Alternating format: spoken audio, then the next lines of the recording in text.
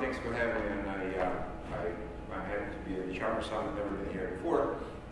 And it's actually a pretty cool thing to honor for having me. Um, it's an interesting story how I got into Ubuntu, actually. Uh, I promise not to, not to spend too much, too much time on that. So back in, uh, I guess, 2002 or 2003, Mark uh, Shuttleworth came to Sun to show the new shiny Linux distribution to whatever engineers out there. Right? So Sun Microsystems, for those who don't know, used to be a great technological company, but it is not. Um, I know, right? So, um, right, so he came there and then there was a bunch of engineers sitting there. And I, I was on Linux since like whatever, 1995 probably or something like that? So, uh, and he was like, oh, we'll do this, we'll do that, here this CDs, and you know, guys, just, just, you know, come over and grab it, we will go over, over the world, and all that kind of marketing crap. And, and then like, you know, I got so pissed off, I just stood up and said like, you know what, there's already 362 Linux distribution in the world, why the hell do we need yet another one? And he's like, ah, yeah, it's going to be like better than, than others, we, we do things differently. I'm like, ah, yeah, sure. So um, that was 2003. 2004, I was actually switching from SUSE to Ubuntu because KDE was beating the, the, the crap out of my patience, right? So I switched to Ubuntu to GNOME. I loved it. In 2005, I met Mark again at uh, um, uh, inaugurational summit of the Linux Foundation, whatever it's called. And uh, I came to him and said, Mark, like, remember two years ago I was, was actually, you know, a total jerk to you and stuff like that. He said, yeah. I said, like, you know, I need to apologize because Ubuntu is really the, the, the best thing ever. So, so um, yeah, anyway. Um, as I said, I've, I've been, been around open source for a long time and uh, doing a bunch of things in this great technological company, which is Nomura. Um, and uh, lately I got uh, introduced to, to Ubuntu and uh, helped a little bit the, Ubuntu Big Data team with uh, uh, big data, well, essentially the fusion between the how Ubuntu does, how, how Juju does the, the, big data stacks, and how we do this in the in the Apache world, right? So and we'll talk about this a little bit, and and tell, we'll highlight a little bit of the differences there, and how the, the two paradigms got sort of merged, uh, essentially. So the idea, of course, for, for, for, all of us here is how to solve the complexity, right? We hate complex operations, right? So if, if you were the sysadmin or you were a DevOps, and I used to be a sysadmin for a long time back on Solaris, Solaris networks, the simpler you can do something, the more repetitive you can do something, the better, right? So, because at the end of the day, sysadmins, uh, uh, most of us are lazy bugs, right? So we, we, like to sit back and relax and drink beer and let this, that do so, uh, but for that, for that you have to actually work hard first, right? Unfortunately, with the systems like uh, like Puppet and uh, Chef and, and, and, Juju and whatever, and packages and Linux, making things to work the way you want them to is getting easier and easier, right? So fortunately, so but but un unfortunately, the, the world around us doesn't stop there and it, it, still evolves and it becomes more complex, right? Um, the, the, the, physics works even in the, the, computer world, right? So unfortunately, yeah. So the, the entropy is, is growing as we, as we speak. And the entropy essentially means complexity, and uh, the, attempt to, fight the complexity creates more entropy, and, and you know, the vicious cycle until we're all dead. So, so how we can, you know, be less miserable in the, in the meanwhile until we're dead. Um, so let's uh, take a quick look at uh, uh, big data, the, the, ecosystem of big data, what it is essentially, right? So even today, um, there's a bunch of Hadoop stuff, there's a bunch of the you know file system storage and this and that, um, and people do batch and you know people do uh, other things, but it's not just just just Hadoop per se, right? So it's not just um, MapReduce and, and HDFS, basically, right? So Hadoop today is, is, a, is a huge ecosystem, as, as you all know, and it includes streaming, it includes uh, SQL processing, it includes in-memory, it includes real-time near real-time, and, and all and all. But as, as you know, I alluded already, or a harp on this, but uh, as I said, this comes with enormous complexity because this whole open source kind of development, it's not happening by the God laid out plan, right? So it's not like we have a totally clear blueprint and we know where we're going to be tomorrow, and day after, and day after, and day after. So it's all it's all evolutionary, right? So evolution makes mistakes, of course, and a lot of things being, being dropped down and, the next day and stuff like this. And only some of the things become uh, become the mainstream. Uh, unfortunately, in a way to become mainstream, we have to deal with a lot of these, you know, crappy and dead end branches, right? So, and uh, um, a good example of it, and by, by, by no, no means I want to bash on people who actually you know, invented this, this architecture. But uh, Lambda architecture, say, right? So people, you, you all know what Lambda? It's a, okay, good. So, uh, but Lambda architecture is a good example of, of the technology which is sort of like end, uh, because uh, it came about out of necessity to solve an immediate problem between the, the batch processing of the historical data or lab data and uh, essentially the steaming data, which is like normal day-to-day operation of, of the life around us, right? So everything around us is steam. It's not like we can quantify our lives in little chunks and, and that be the perfect model of how we live, right? So even right now I have a stream of consciousness in my, in my, in my head, which is like full of idiotic crap, but nonetheless it's not based, right? and uh, so Lambda is trying to sort of kind of fuse these two, and because tool sets for historical data processing and, and steaming data processing are so different, it actually does not allow for like elegant solution that, that naturally cleanly solves the problem, but instead we have two substances, oil and water essentially, which doesn't mix well. Uh, yet in, in some combination of that, it, it helps you to solve this, this problem a little bit, right? So with, with its own negative sides and, and, and, and downsides, but it helps to solve it. Uh, helps to solve the problem of the process enough too. So, and, and that's again the, the, complexity, right? So if you look at Apache Storm, which, you know, it's, it's a very decent system, right? So it, it does great stuff. It does uh, uh, stream processing very efficiently and all. Uh, but Apache Storm is a huge, humongous conglomerate of the components that should live in the cluster and essentially they're like layer of the zookeeper and layer of the storm nodes and layer of the Hadoop nodes for batch processing and this and that and, and when you get this all combined it's a traditional nightmare right? Nobody, nobody I, I, am pretty sure in insane minds would want to, to manage the, the storm cluster. Well, but people have to, right? So sometimes. Uh, and uh, where I was going with that is the even from the 10,000 meters, right, or uh, 30 30,000 feet, where we are in the United States. So um, uh, even from that height, the, the, the second system looks very complex, right? So it's very very very not easy to, to, to, to deal with this stuff. So and, and clearly, as anything in evolution, if there is a demand, there will be you know the, the supply, right? And uh, um, the, engineering folks, the developers in Apache Foundation or elsewhere, they, they came up with the idea of Apache Bigtop. And it's essentially an attempt to tame this, this complexity right And Apache Bigtop is uh, essentially a simple framework, right? Um, that gives you an ability to very quickly and easily iterate on the big dog or a, uh, so sorry, big data stack or any software stack of any complexity, really, but we're talking big data so let's talk about. So you can build the packages, you can deploy the packages, you can test the packages against each other with proper configuration. Then you can rinse, repeat, rinse, repeat, rinse, repeat until you're satisfied, right?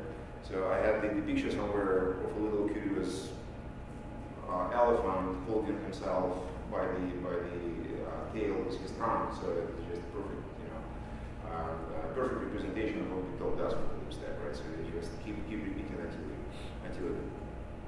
And uh, um, we essentially have like four four different layers, I believe, four different parts in in, in uh, Bigtop, where packaging is one of them, uh, state uh, and config management the second one, uh, this namely the Puppet recipes, right? So the set the Puppet recipes. uh, and configuration management as well. Uh, test is the, uh, so sorry, deployment is the third one, again, public, and uh, fourth one is the, is the testing layer, right? But uh, the, the, the most kind of appealing thing for me here with uh, uh, Bigtop and this whole idea kind of how we do it is uh, essentially that you, you do control your environment, right? You do not need to rely on somebody's hearsay saying like, hey, it works with my laptop, I just, you brought out four containers, four Dockers, and it deployed stuff there, and it worked beautifully. I have no idea why the, the hell, you know, it doesn't work on your, your, on your data center. Well, that's exactly why, because uh, your laptop on my data center are not exactly the same thing. So you have to control the environment, you have to control conflicts and all that kind of stuff. So and it's not, it's not kind of easy. Um, so, and, and, and, most importantly, I guess, is that Bigtop is like um, a philosophy in a sense, I, I would even say, because we, we, we sort of trying to counterbalance balance the, the rational approach for the complex system management and, and, and creation versus empirical approach, right? And, and you can rationalize until you blue in the face that this particular piece of software will work on that rack and, and that cloud and on, on your laptop. Reality is pretty harsh and most likely in 60% of the time, uh, name of the cloud and in the data center it won't work because there are some little tiny handles and knobs you forgot to turn. So, and only with empirical, empirical approach you can actually guarantee that you ironed out all these bugs and, and you know how the stuff. Anyway. And, and uh, I think I, I warned somebody back at the coffee table that this, this conversation will bore you to death, so you still have time to die. Um, anyway, um, and, and like on the, on the real surface, Bigtop essentially is trying to, um, trying to go after the Debian philosophy, right? So it's essentially the distribution of the Debian points. That's why I mentioned the story about Ubuntu, because Ubuntu Debian is sort of like the same, same philosophical, philosophical approach. So we, we, we would like to think about ourselves as a, as a Debian of the big data right? So because we this distribution that, that beautifully works out of the box, well, in most cases, well, okay, in some cases. Um, and but uh, essentially for, for the user, for the end user, you don't need to bother with, with how the things under the hood, so it's just automation what happens here. So anyway, and uh, Bigtop is, is actually a pretty, pretty big uh, uh, project today. It's a top level project in Apache Foundation. It's uh, whatever, 30 contributors, a bunch of contributors. We're doing usually like, we're trying to do about three releases a year. Normally doesn't happen, just two, two is usually the, the, the most we can manage. And uh, um, the community is, is the community includes a bunch of volunteers from all, over the. We have actually one guy who was doing, like whatever, 20 years ago, was doing data and port on uh, Commodore 64 or Atari 64. I don't even remember what, what kind of platforms he was doing, right? So that kind of like, you know, Unix beard hackers, just, it. So which is great actually, so it's, it's amazing. Uh, what the hell I have two two slides. Oh, they're not the same. Ooh, well, okay, yeah. So we have the stack that rules them all? Um, and uh, but Bigtop, Bigtop doesn't have everything, everything, everything covered, right? So the, the, the world is so huge and, complex that Bigtop can only this little corner here. And of course, there's a bunch of things that we cannot do or we don't know how to do. And uh, namely, this is the infrastructure management and uh, uh, topologies, models that, that, have to be created and maintained and stuff like that. And fortunately, here comes Juju. Right? So I, I, wouldn't bother wasting your time talking about Juju. You all know about this. It's the last day of the company. So, um, but Juju is actually great because it, it completely abstracts how you sort of model your system from how the little pieces in, inside of the system would, would actually behave, right? So you can encapsulate this knowledge into the charms, and and that's my personal sort of pet peeve, quote unquote. You can have these charms written in Python, goes for like six days in a row explaining how to set up name node and configure the ports, right? Like when I first time see I'm like, what the hell? Like why why are you doing this? but the concept was great, right? and uh, um, if you get rid of this logic inside of the charms, or at least you replace this logic inside of the charms with uh, a proper state management approach, right? So basically, instead of writing these prescriptive Python statement or, or God forbid, Scala statements or whatever it is, explaining how to stand up a particular system somewhere and replace it with uh, uh, state state management like Chef Puppet, whatever it is. So to basically say, okay, so here's my charm, I run it on this node with this configuration, magically five minutes later, boom, the state has been reached, and the state is exactly what I expected right? And if, if I will run it again, the state will be again the same, so my operation is idempotent, so I can run until I blue in the face, I won't break it. And if I broke anything, I will rerun it again, right? So and the state will be still great, right? So now in practice, getting there is not that easy because somebody has to know about this operational little tiny teeny detail, right? So somebody has to know what kind of port has to be open on the on the name node side and how the, the data node protocol works with the data node and what kind of security should be applied if you are in the whatever on-premise data center or in the cloud and how to configure the particular VLANs and this and that and a bunch of this stuff, right? And of course, we cannot be the experts in everything, so we, we can only do things that we you know like. And uh, uh, say it would be quite fair to to go into the Juju community and say, like, guys, you're doing the wrong thing with, with name node or Spark or whatever it is, because that's how it should be done, right? So, and uh, that the, the, the, way it should be done has been developed by the, by the experts in the, the Spark and the HDFS and was, was not big data, big data space. But those experts are not the part of the sharpness community, right? So the, the, the things do not live in the same, the same time space. So, and uh, uh, fortunately, with this whole kind of Bigtop idea, where you can separate the layers of the packages and the repositories from the operational knowledge and the config management and the tests. So now you can say, you know what, um, let's do something like this. So boom, here's my packages. Here's a Bigtop creates packages. Awesome, right? So we have a repository, everyone can, can install from it. Great. So what else we do? We do Puppet recipes, right? So Puppet recipes encapsulate this particular intimate knowledge about the name node and Spark master and, and Yarn and, and Hive and what's not page based.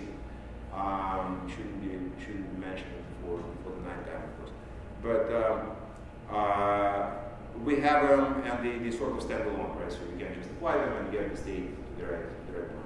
So what else we have? We have the configuration templates because we know what particular tweaks needs to be done for the resource manager so it doesn't hobble your cluster or, or works at all, right? So, um, and uh, that's all great, but now, so what you can do, you can run Puppet apply on top of these. Let's step back a little bit. You can run a Puppet apply on those on those three, right? And then you get yourself a little cluster, right? But what about the modeling with the topology, right? So how you know which pieces will go where, right? So fortunately, the Juju and what Juju does, it great, uh, uh, grabs these, these, these charms, and there will be like a charm per component essentially in the, in the Hadoop stack or in the big data stack.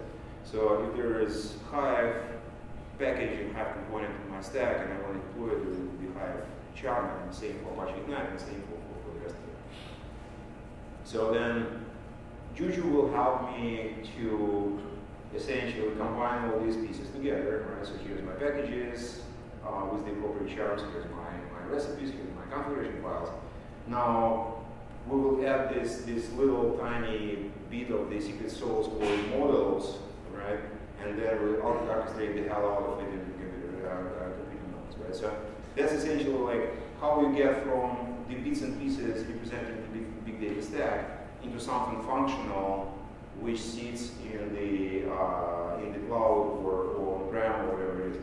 And the beauty of it, of course, is that you essentially don't even need to bother about the knowledge about this, you know, uh, infrastructure. You don't care if this is AWS or this is uh, Google Compute or let's see, on-prem cluster uh, in the data center, whatever it is, it, it magically works pretty much the same.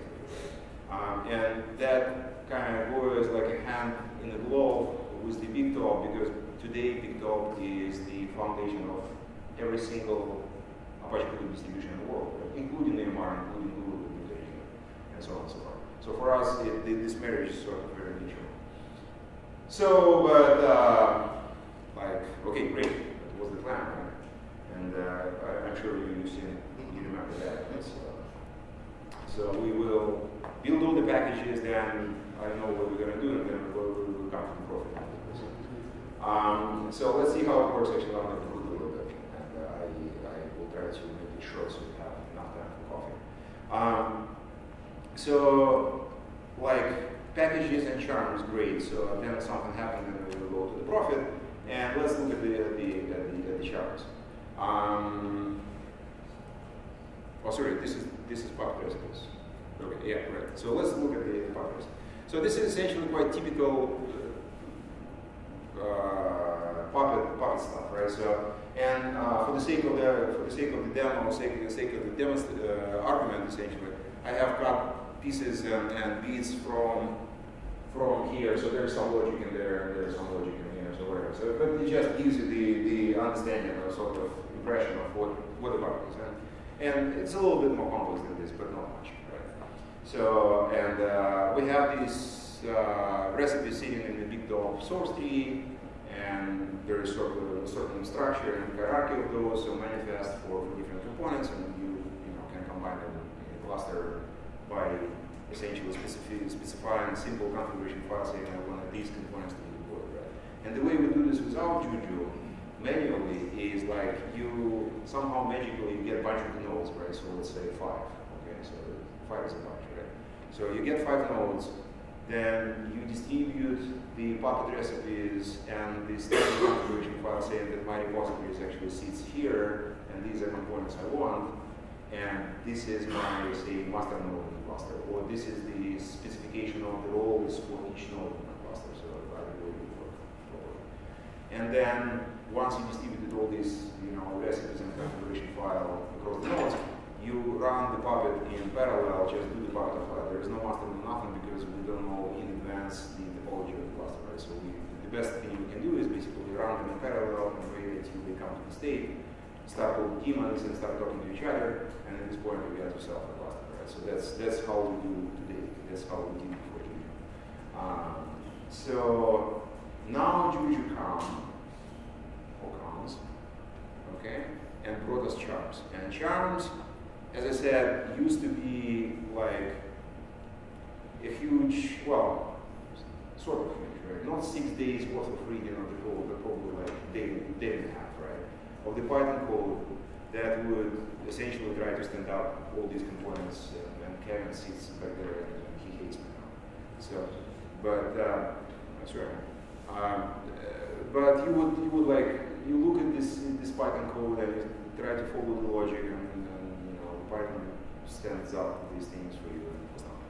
So with the charms, uh, so sorry, with the with the Bigtop, name node charm is like pretty much like that. So it's a little bit longer, probably by another 20 lines. I don't remember exactly, but this is essentially the the, the soul of this new charm, right?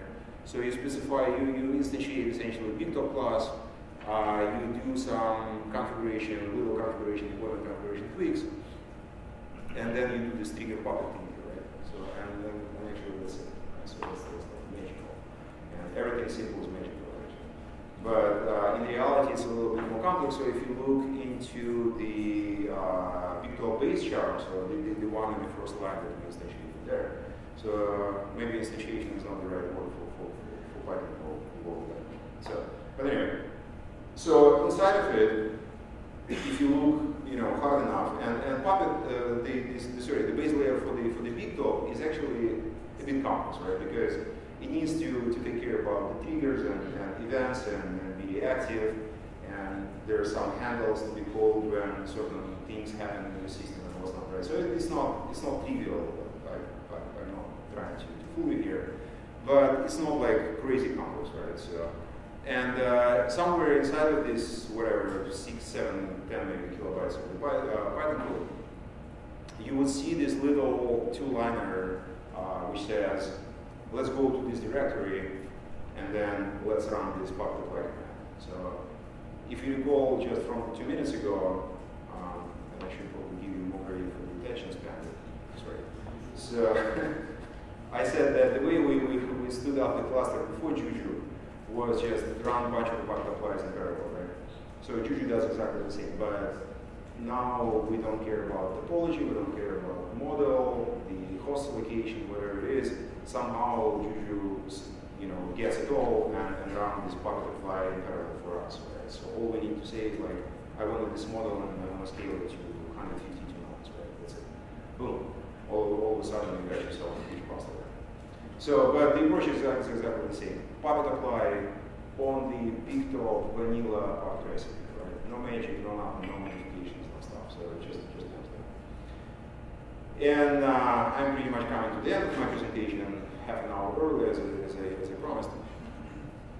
So uh, that's, that's, that's topic is sort of near and dear to my heart because I guess uh, the collaboration of this sort, right, is only possible in the open source. I mean, this is, this is the great kind of anarchical view of the world, right? So when people just working the hell out of, of themselves to, to do something they're interested in and somehow the product of their labor got combined with the labor of other people, and boom, all of a sudden we live in a private world, right? So I think this is great. This is open source. So, like, think for a second if Sun Microsystems and Oracle would try to, to pull, pull out the collaboration like that, right? Just for a second. Let it, let it. Okay? So, uh, in, in open source, it literally happened within like a couple of weeks. So we, we, we, met at the Scale conference actually this very hotel back in January, and we said, like, hey guys, let's let's try to do this. And then then some travels were happening wherever it is. Two months later, we got back to the topic, said, hey, we're doing this or not. And uh, Mark actually again was very supportive in this in this, venue. He said, hey guys, just go you know go do this. And, uh, there was some budget, and it's not. And we spent I don't know like three weeks, whatever it is. The guys from the data team actually, uh, they uh, invited me for their, for their spring hackathon uh, thing. And it was great actually working, you know, next to each other for, for full five days and doing this, this exactly sort of thing. So we, we did this proof of concept uh, first step where we could step, stood, stood the cluster using Juju and using Bigtop packaging recipes with a single click of a button essentially.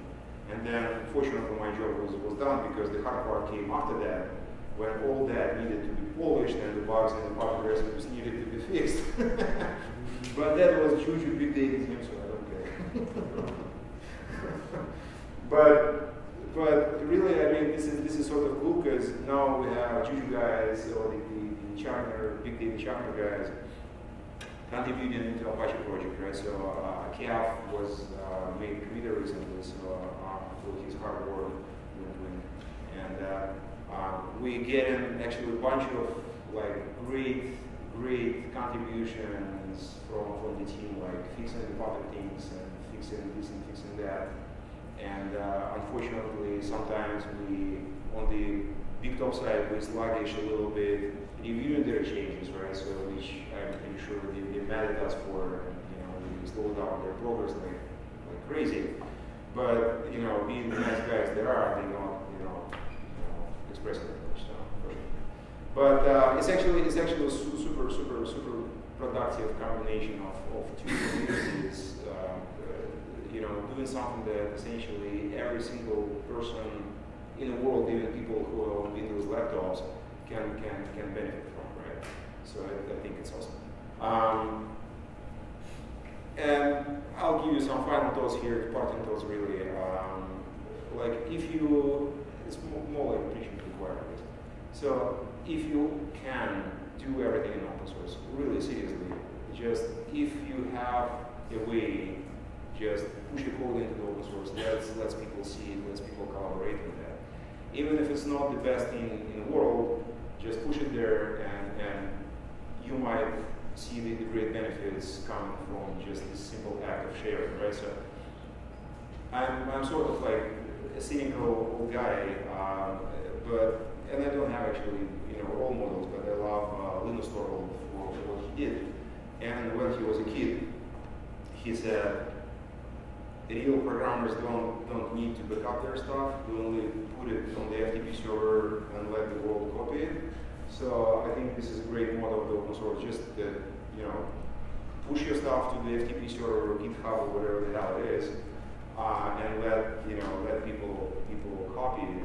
Of course, it's, it's easier to say than, than to do because to make people copy this this you know 25 years ago, Linux kernel was right? So everyone knew about this, and there were no competition pretty much uh, for this uh, in the open source world. Today, you can push your project and there will be like 16 projects live and you know people need to figure out actually how to, to pick and choose between those, those 17. But this is the topic for different discussion and how to build the community, how to make the community thriving. But the fact that you're sitting in this room actually all together makes me think that, that we already know a of this, you know, secret technology, how to build communities, right?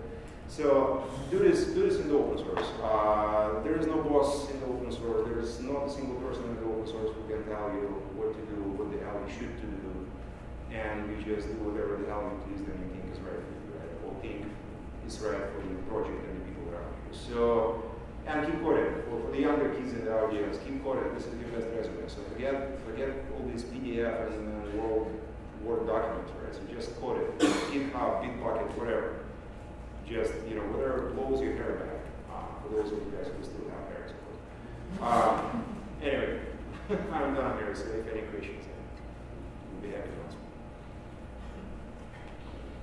No? Super. I got a question. Ah. How do you think for step two we can get more of a, because we've been thinking about the community and maybe folks here, how to get more folks who are deploying new solutions and wanting to build on top of them, how we can, how we can get these, these good, you know, ideas of what making solutions are, to be able to either work with, you know, consultants or people who are struggling with this, get them to start using it, and give us feedback, not necessarily necessarily contributing to day-to-day build or well, to the top or strong, but more working with those other folks to be able to get their feedback in a local context, what data sources they're using, what workflows they're doing, uh, those type of things. Yeah, uh, it wasn't actually a question, it was the second half of the presentation, literally, right? Um, but yeah, I, I, actually agree. So if, if you haven't heard uh, everything, so Antonio is, is alluding to this phase two equilibrium, right? So what we can do better to get to the, to the final stage of the of the profit profit sharing, right? So and, and actually it's a great idea. I like it. I, I love it. So building the community is probably the right the right phase two, right? So building building the ecosystem around this combination or whatever the hell would be the combination consistent on. So building the, the ecosystem around this is probably the best best phase two anyone can, can think of. So sharing sharing your ideas, sharing your use cases, sharing your blueprints, sharing the chunk. And actually you guys you you like I don't know, 80% there. You have this great charm store, so anyone can go and, and grab and install and use. Uh, sometimes it's hard to, to find things, and sometimes I, I have no idea was the you know Xenial compared to something else why, why, why you don't stick to the numbers for crying. But uh, um, I think it's, it's great, and uh, events like this uh, are a superb venue to, to exactly build this community and, share, share the data. Yeah. Thank you very much. I will, I will replace the, the question mark instead. Anything else? Yeah. Come on, people. We still have 20 minutes. yes. So Bigtop is pretty big. How much of it do we have charms at the moment? So there are lots of different things under Bigtop, Uh, right? so Bigtop right now is uh, 30 plus uh, or 30-ish components, right? Uh, Charm-wise, I don't think we, we do cover them all. I know that we have a bunch of the uh, Jiras in the pipeline, which actually I believe even have the patches in them. And that goes back to my my my point that some of the committees on Bigtop, I'm looking at you, Cap. There's, there's about thirty-two components to it, and then we, uh, we wanted to be able to get the foundational ones, Yeah. just, just moving cycles, so we're trying to target getting the foundational Mhm. identified for seven, but the idea is not for, for just nautical, to write those charts, we want to be able to write it in a way for common interfaces, common layers, so we did uh, do the sparks, the common ones, so folks want to come in and say, hey, I'd really love to see the, uh, the the Ignite charm out there, they can easily build that off it and connect it into the solution. So to answer your question, I think, hopefully, uh, whatever, or those maybe like fifty around that, I think about five, there's seven in there right now. probably. Yeah. more than They make it really easy to, to tools other tools so you can build around Yeah, something. yeah, yeah, that's the idea, having, having four ones, But if anyone wants, is looking for a particular service, you know, and they want to work on something, that's exactly what we like to do here. Um, that's exactly what they want to do, specifically making the testing, integration of those pieces better is what we want to be able to do.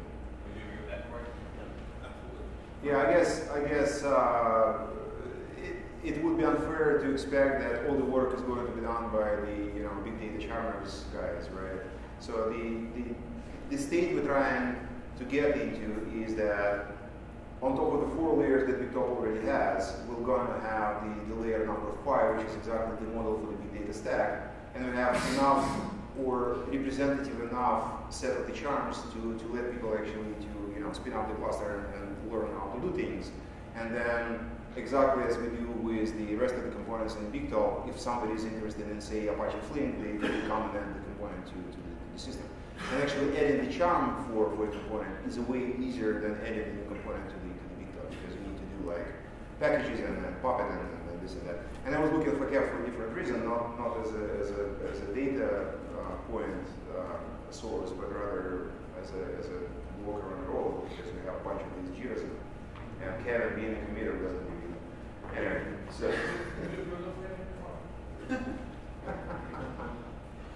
um, yeah. Um, what about other operating systems besides Ubuntu? Is, is that easy to do? Oh yeah, I forgot to mention that. Yeah, except for Windows, uh, well, probably do Windows as well. No, we don't. I'm kidding. So we actually do like seven or eight uh, systems. So we do uh, all, all Windowses, clearly. So we do SUSE, two flavors of SUSE, a bunch of the flavors of Ubuntu, like Xenial, besides whatever it is. Xenial, yeah, Xenial supported actually, right? Uh, CentOS, Fedora, Red Hat, yada yada yada, right? So interestingly enough, thanks a lot for the great question actually. It returns on the conscious system. We do support, I believe, uh, three different uh, platforms right now. So we support x86, the traditional one, or x64, whatever it's called. then we support Power, by the way. So that's the only source of the big data, Hadoop big data stuff in the world on the Power right now. And that's again a great combination between between Canonical and Bigtop because Canonical, I believe, is like one of the two that works on Power, right? So the Ubuntu one of the two that works on Power. SUSE would be another one, I guess. Uh, and uh, we actually do support, uh, so PPC64, I said, and the other one we support is ARM. So we do support ARM. So it's uh, whatever, 7 by 3, so we effectively, our deployment metrics is what, 21, 21 operating system, if it answers the question. Also, Power eight is, uh, enabled in Bigtop too. right? Pa- Power? Uh, PPC, or, you know, Yeah, I just said it. Power, PPC64. Yeah, so that, that's three, right? Or I'm missing something. is it with ARM? ARM X64 and Power. Okay, cool. Thanks for the assurance. Um, yeah, that's yeah, that, that's what we do. Uh, at some point, somebody came up and said like, "Hey, let's support Windows," and then we said, like, "Sure, yeah, computers." Nobody would work on that if you want to. and I guess that's that's kind of the, the beauty again of the open source. It's all about meritocracy, right? So you can wave your hands like you blew in the, in the face, but if, if nothing comes out of it, like on the second day, people will tune it off, right? Like, ah, okay. So um, yeah, sure. Any Okay. And this, this might be more a question for the data team. What's what's the plan around um, Right there. components for the Hadoop ecosystem that are not in Bigtop? Uh, could you name one? For example, Hue, Hue? it's a, it's a user interface. Yeah, it's right there. Is it part of the Uh huh. Oh, okay. Name another one.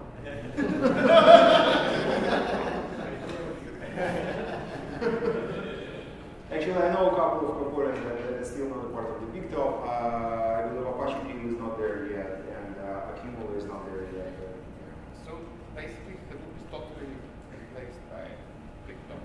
And Hadoop is not totally replaced by Big Or Top. all the features that Hadoop has. Hadoop is a project. Apache Hadoop is a project, right? So it's a parallel, scalable data processing system, right? Bigtop is a step step above that. Bigtop provides an environment and whatever framework and all the stuff I just talked for 20 minutes. What are you so to to to make it con- con- consumable, right? So before Bigtop came about, it's, it's disgusting actually. I, I hold myself, you know, real strong to, to force myself to talk about this. But people were deploying Bigtop from the Tarballs. Oh, by the way, it reminds me of something. Okay. so actually, it's interesting story that the, the original version of the Big, Talk, uh, Big Data Charms uh, were doing exactly that. So they would download and bind the binary tarballs of the Apache releases and you know expanding them. And, you know, the stuff. But anyway, so uh, is not replacing Hadoop, right? It's it's a project to to get all these things to hold the cats essentially, right? So all these sparks and ignites and not and make them work together. So I have uh, uh, this uh, pretty cool, uh, pretty cool demo on the on the YouTube where you can stand up a cluster of whatever number of nodes, T nodes, whatever it is, uh, using Bigtop Docker provision. That we have this little thing where you run a command uh, from the build system and get yourself a fully distributed, fully configured cluster uh, in container, Docker containers in the system, right? With all the components you want to have, and they will be like properly, you know, communicating with each other and stuff. So I have this demo um, where like I press the button, five minutes later I get myself the loop and the of cluster and I can run MapReduce, in-memory MapReduce jobs at the 30x speed factor compared to, to regional instance. It's pretty cool stuff. And you don't need to know anything, so you just need to press button and run, run. Uh, but yeah, we, we don't replace it. We complement the whole system. So in fact, actually, watching the people who contribute to Bigtop, they are leaders to other projects. Uh, so I'd like to know more about the onboarding process. Uh, in particular, is Bigtop limited to Apache projects, or if I have Yet Apache or it's not Apache, can I contribute to Apache Bigtop and make it part of the distribution? Yeah, the answer is yes, resounding yes. So uh, there is a Top 2524 which adds uh, pivotal Bitcoin database in right. So, which is not a Apache project, it's a Apache license project, but it's still owned by Pivotal, it sits on GitHub somewhere, and uh, uh, we just have the, the packaging and then Puppet and test already there, so we just need to commit it essentially into, the master tree that will let you to stand up real long database in time, which is fairly complex thing to. Yeah, so, so if you hate Spark or you don't like Scala or you, you know couldn't care less for Hive, but you still need to do you know transactional uh, processing in parallel on the cluster, be for and we we're thinking about having the uh, hackathon actually between like uh, big data charter guys and some pivotal guys and Bitcoin guys and whoever else want to join to effectively put this on, on Juju so people can, can enjoy the uh, Bitcoin. So yeah, completely anything you, you want. The only, it's not even like an expressed concern, but I believe the only limitation here would be it has to be an open source project. We're not going to add Oracle server into Elmo until we open open source to the source. anyway, um, and then I'll wait. So, from my understanding, a lot of companies. It's a now- third strike, by the way. a, a lot of companies now make a lot of money from the fact that Hadoop is very hard to deploy and Mhm. manage. Yeah. It's Are, not. are you guys getting some pushback from those companies? Because with, with the integration of Juju, this is becoming more easy. Uh, how do you imagine the pushback from the companies? What, what they can do? They can shut down the Apache project. They can boycott us. or I don't know. Seriously, what they can do? They will stop using us. sure. Yeah. Interestingly enough, actually, uh, there, there are companies that, that making the money on that, and they using pieces bit- of the Bigtop, or the whole Bigtop, like MapR would be, would be a good example. So they're using a forked version of the Bigtop, right? And uh, it's fine by me. If somebody can make like 20 bucks out of my work, okay, fine. So if I can make 25 at the same time, sure. or even 15, so whatever. but yeah, I mean, people people doing this, and uh, in fact, oh yeah, that's a good point. So there is there's a company that has been bought by SAP just just recently. Name the name of the company, but uh, for all the time they were in existence, the startup, or four years old startup, they were keep pitching. I, I, I don't have a better word for it honestly. That the, the way the big the talk does the uh, deployment and configuration and layout of the bits in the, in the, in the file system, right? So the package instruction and stuff is the wrong way to do it. Right? So this is the wrong way to do it. Absolutely wrong. Huawei uses us, Portnox uses us, Google uses us, Amazon uses us. This time it's not about before. 16 and a half people think it's wrong. Come over, come to the other. They have come. Um, that's it. Good. Super. Thank you very much, guys. I really appreciate it.